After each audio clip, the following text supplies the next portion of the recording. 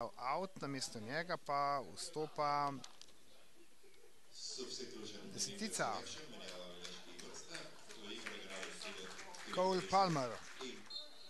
Še en prosti udarec za Angleže, 55 minut teče, dobra kombinacija, kljub vsemu pa so se naši dobro postavili po robu, pa še enkrat prepovedan, obglavljen, zaustavljen in nadaljuje se igra prek Majtona, pravih priložnosti v tem drugem polčasu, v prvem je vendarle tudi zadišalo potem, da bi lahko kakšna žoga končala v mreži, medtem pa narodov, sicer poteka tu tudi na tem območju tudi znan klubski turnir, medtem pa še ena globinska žoga in zadetek še enkrat Angležev, ki ne popuščajo.